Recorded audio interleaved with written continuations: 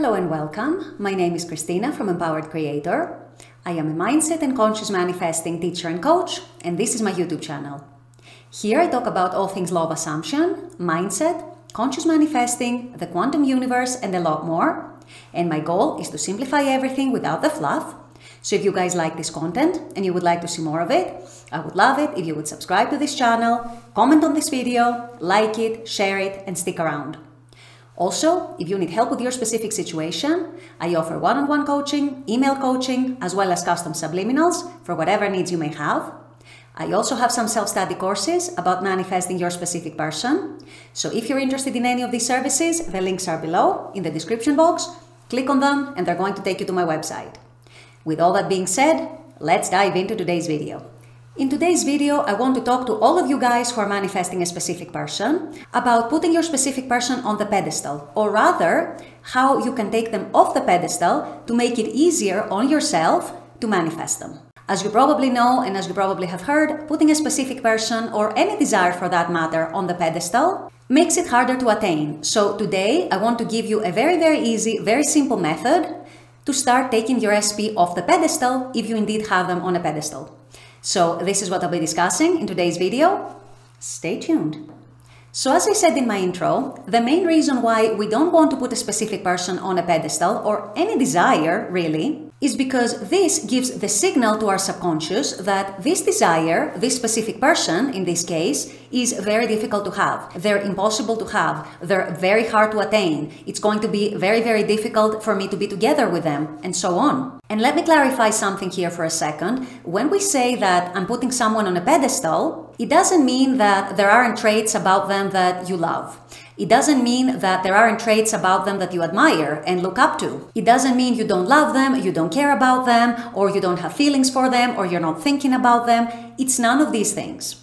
What putting someone on a pedestal actually means is that you are feeling less than them in one way or another, or in some cases, in multiple ways. You are somehow feeling that they are so unattainable for you, that they are so much better than you in one way or another, or in multiple ways, and essentially that you're not good enough for them or that you're not worthy of having them, that you don't deserve to have them in your life, you don't deserve to be together with them. You feel inferior to them, in other words. And unfortunately, this makes your manifestation much harder if you are in a state like that and if you are keeping your specific person on a pedestal, because by forming these assumptions and keeping yourself in that dominant state, you are telling your subconscious that this isn't something that is going to be easy to have. This isn't going to be a person that it will be easy for me to be together with. This is not a person that I deserve to be with. This is not a person that I'm worthy of being with. This is going to be difficult. This is going to require a lot of effort. This is going to require a ton of work for me to attain.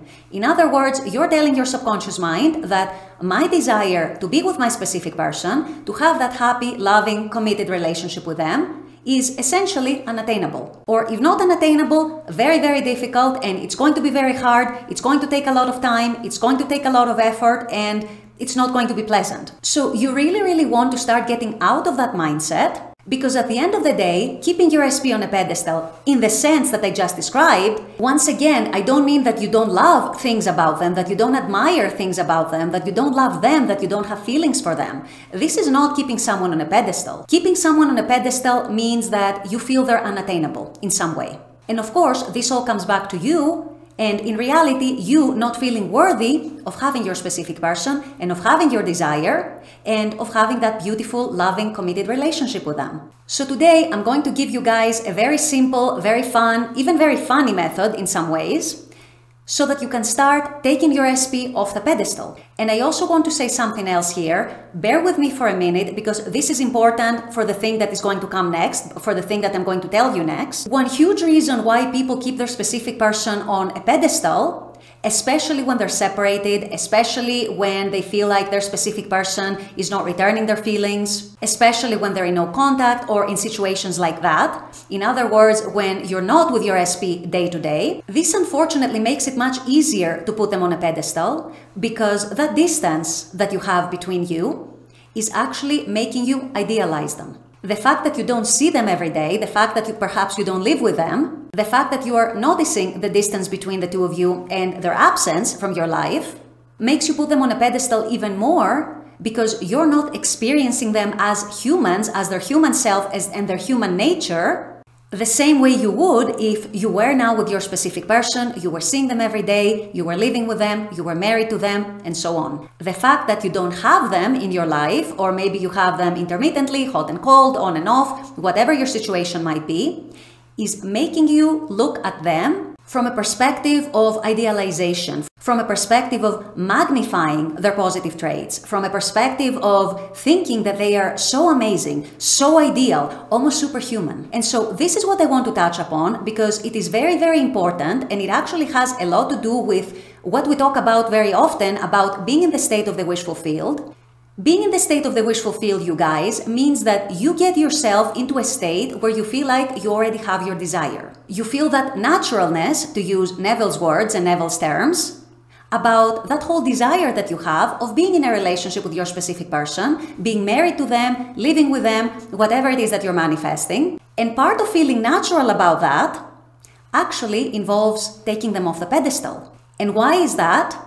Because if you had your desire right now, if you were living with your SP full time, if you were married to them right now, if you were dating them full time and consistently, you would be experiencing them every day or at the very least very, very often. You would come into contact with their human nature and their human self very, very often, if not daily, if not almost 24 7. And what that does, you guys, when you come into contact with someone all the time, is that it takes them off the pedestal. Why? Because you are going to experience all these parts of their human nature that do not make them as ideal after all. You are going to see them upset. You are going to see them moody. You are going to see them when they're having an off day. You are going to see them on days when they're sick and they're looking like crap. You are going to experience them wearing their sweatpants and their slippers at home, which is far from that sexy image that you are now building in your mind in their absence. To make this even more real, you may even experience, actually, you will probably experience, most likely, all their other functions of their human self. For example, you might hear them burp after a meal. You will experience them using the bathroom, and you might experience any noises or any smells that come with that. You may experience them having body odor, for example, after a workout.